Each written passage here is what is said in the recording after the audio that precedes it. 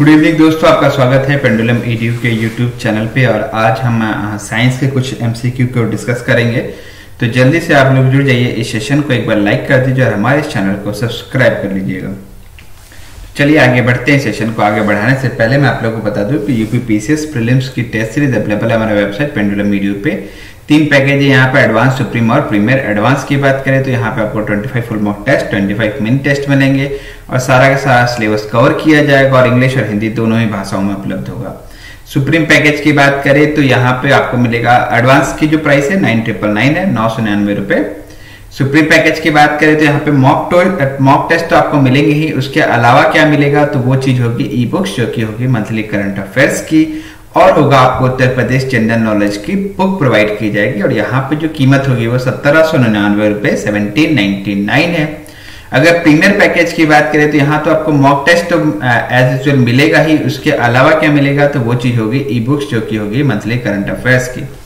यहाँ पे जो प्राइस है 1499 है। अगर आप इसको परचेस करते हैं और अगर मेरा कोड यूज़ करते हैं आर आर थर्टी तो आपको 30 परसेंट का डिस्काउंट मिलेगा। यहाँ पे आर आर कैपिटल में है, ठीक है? इसके अलावा जो भी रनिंग कोड है हमारे वेबसाइट पे, आप उसको यूज़ कर सकते हैं for getting the more discount इसके अलावा आपको एक और अनाउंसमेंट ये है कि एनुअल करंट अफेयर 2023 इंग्लिश में वो अवेलेबल हो चुका है हमारे वेबसाइट पेंडुलम ईडियो पे, आप इसको परचेज कर सकते हैं। यहाँ पे आपको पूरा साल भर का कंपाइलेशन जो है वो करंट अफेयर का एक ही जगह मौजूद मिल जाएगा, जो कि आपको काफ़ी इजी होगा किसी भी एग्ज़ाम में रिवाइज करने के लिए। तो आगे बढ़ते हैं और अब यहाँ पे सवालों पे आते हैं। तो पहला जो सवाल यहाँ पे पूछा गया है ठीक है ये एक बेसिकली प्रैक्टिस सेशन है साइंस के क्वेश्चंस का जहाँ पे कि हम कुछ आ, सवालों को करेंगे और उससे रिलेटेड जो भी फैक्ट्स होंगे उसको हम एक बार देखते जाएँगे ताकि फैक्ट्स भी कवर हो और ताकि क्वेश्चंस भी कवर हो और पीछे जो उसकी थ्योरी जो होती है वो भी कवर यहाँ पे किया जाए। तो डायनेमो से रिलेटेड सवाल पूछा गया है कि dynamo is use to convert तो ऐसे सवाल बहुत बार आते हैं कि डायनेमो जनरेटर इस टाइप की चीज़ें जो होती है, वो कई बार पूछी जाती है कि वो किस एनर्जी को किसमें कन्वर्ट करता है। तो पहला ऑप्शन आपके पास है, अगर उस चीज़ को देखें तो electric energy to mechanical energy second option is mechanical energy to electric energy electric energy to solar energy heat energy to chemical energy तो कोई बता सकता है कि डायनेमो का प्रयोग कहाँ किया जाता है? तो यहाँ correct answer that is option B है मैकेनिकल एनर्जी को इलेक्ट्रिकल एनर्जी में कन्वर्ट करने के लिए। ठीक है? तो ध्यान रखिएगा मैकेनिकल को इलेक्ट्रिकल में कन्वर्ट करने के लिए डायनमो यूज़ किया जाता है। डायनमो जैसे कि जनरेटर हुआ, ठीक है? मोटर हुआ। ये सारे क्या है? डायनमो इसके अंदर होता है और यहीं से मैकेनिकल एनर्जी जो होती है वो इलेक्ट्रिकल एनर्जी में कन्वर्ट कर पूछा जाता है कि इलेक्ट्रिक एनर्जी को सोलर एनर्जी में कन्वर्ट करने का। तो बेसिकली सवाल ऐसा आता है कि सोलर एनर्जी को यूज़ करके इलेक्ट्रिक में कन्वर्ट किससे करते हैं? तो सोलर सेल जो यूज़ करते हैं हम, ठीक है? सोलर सेल्स जो यूज़ करते हैं, उसके थ्रू क्या होता है कि सोलर एनर्जी के थ्रू हम इलेक्ट्रिक एनर्जी में कन्वर्जन करते हैं। ठीक है? अब electric energy to mechanical energy तो जो बहुत सारी बड़ी बड़ी मशीनें चलाई जाती हैं आप देखते होंगे कि कई सारे जो इंडस्ट्रीज़ में मशीनें लगती हैं, वहाँ पे क्या इलेक्ट्रिक एनर्जी का प्रयोग करके वहाँ पे मशीनें चलाई जाती है, जिसको की होता है electric energy to mechanical energy में कन्वर्जन तो बी यहाँ पे करेक्ट आंसर है। आगे बढ़ते हैं। Which one of the following is use to measure very low temperature तो बहुत कम टेम्परेचर को मापने के लिए इनमें से किसका प्रयोग किया जाता है? ऑप्शन आपके पास chronometer calorimeter cryometer and cyclotron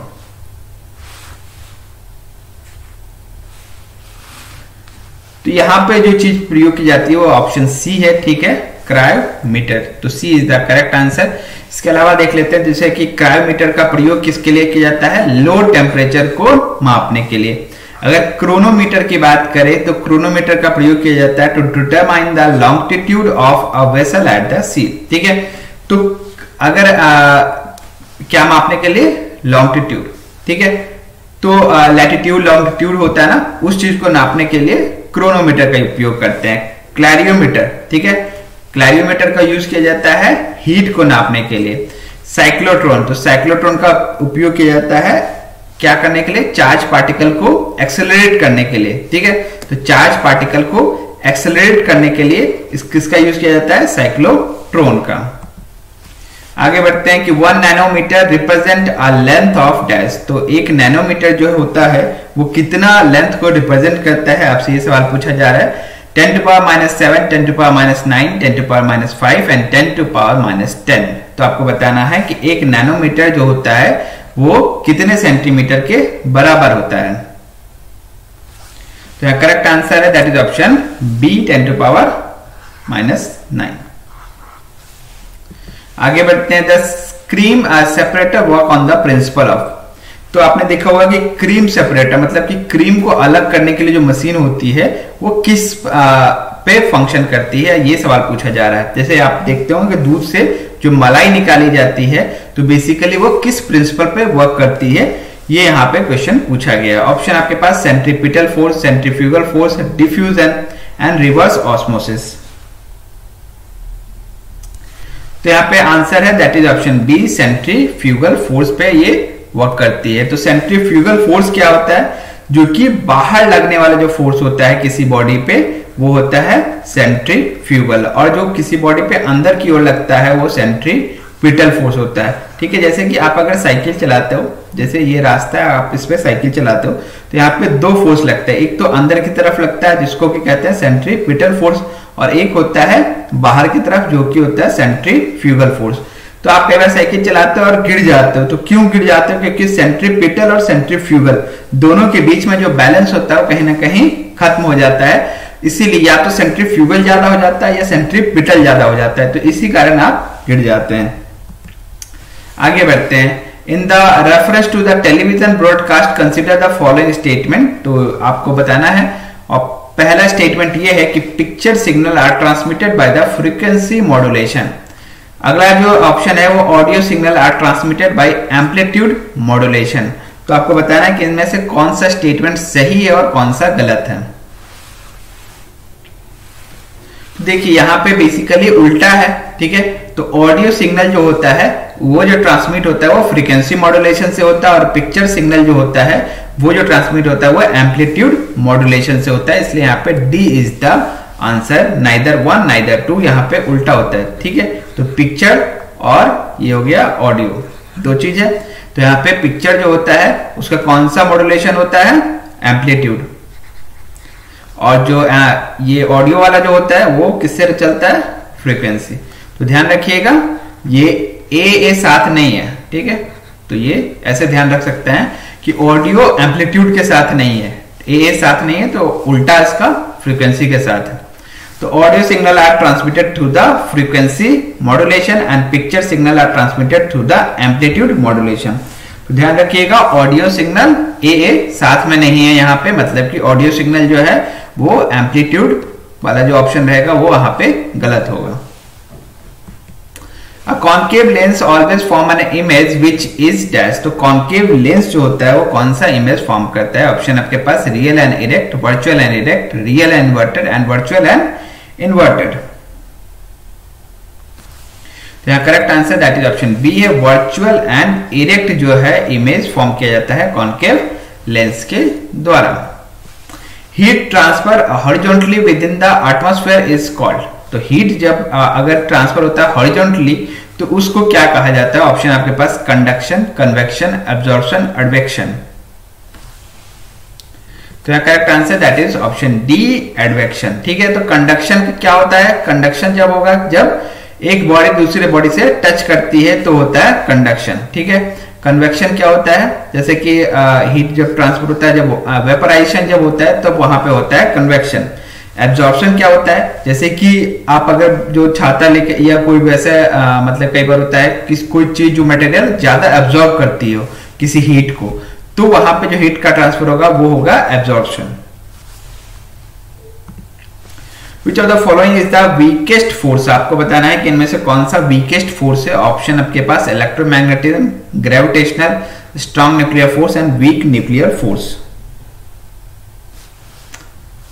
correct answer that is option B gravitation जो होता है वो सबसे वीक फोर्स है। यहाँ देख लेते हैं न्यूक्लियर फोर्स सबसे अधिक, उसके बाद इलेक्ट्रोमैग्नेटिक फोर्स फिर वीक न्यूक्लियर फोर्स फिर है ग्रेविटेशनल फोर्स का सिक्वेंस आगे बढ़ते हैं। अगला सवाल the mass number of an element is the sum of the number of test तो मास नंबर क्या होता है? आपको ये बताना है कि किसका सम होता है? Proton and electron electron and neutron proton and neutron या फिर इनमें से कोई सा भी नहीं। मास नंबर किसका सम होता है? आपको ये बताना है proton and electron electron and neutron proton and neutron and इनमें से कोई सा भी नहीं। तो यहाँ पे that is option C is the correct answer proton and neutron proton and neutron कब से मिला, मिलता है? मास नंबर चलिए एक बार देख लेते हैं, जैसे कि ये कोबाल्ट है तो यहाँ पे मास नंबर इसका है 59 ठीक है? और एटॉमिक नंबर है इसका 27 तो यहाँ पे अगर बात करें इलेक्ट्रॉन की संख्या हो जाएगी 27 तो जितना इलेक्ट्रॉन होगा, उतना प्रोटोन होगा 27 मास नंबर क्या होगा? न्यूट्रॉन तो न्यूट्रॉन यहाँ पे 32 ठीक है? तो यहाँ पे मास नंबर क्या है यहाँ पे? 59 मतलब 32 प्लस ट्वेंटी ये हो गया 59 एटॉमिक नंबर ध्यान रखिएगा, ये number of proton and number of electron यही चीज़ यहाँ लिखा हुआ the mass number is the sum of the number of proton and neutron in an atom of the element it is denoted by A number of proton और electron are normally found in an atom is called the atomic number ठीक है? Clear होगी बात? Atomic number होता है? Proton या फिर electron की संख्या। मास नंबर होता है number of proton plus neutron ठीक है? वो होगा मास नंबर आगे बढ़ते हैं। Which of the following method is use to separate the liquids which have different boiling points तो अगर आपके पास कोई ऐसा मिक्सचर हो गया जहाँ पे कि बॉइलिंग पॉइंट्स अलग अलग हैं तो उसको सेपरेट करने के लिए कौन सा मेथड यूज़ किया जाता है? Evaporation sedimentation filtration and distillation तो यहाँ पर correct answer that is option D distillation का प्रयोग करके अलग अलग बॉइलिंग पॉइंट्स वाले लिक्विड को अलग किया जा सकता है। आगे बढ़ते हैं। ठीक है? Biogas consist mainly consist of तो बायोगैस जो होता है वो किस, किन चीज़ों से बना के होता है, बना होता है? ऑप्शन आपके पास carbon dioxide and methane methane and oxygen carbon dioxide and oxygen carbon monoxide and hydrogen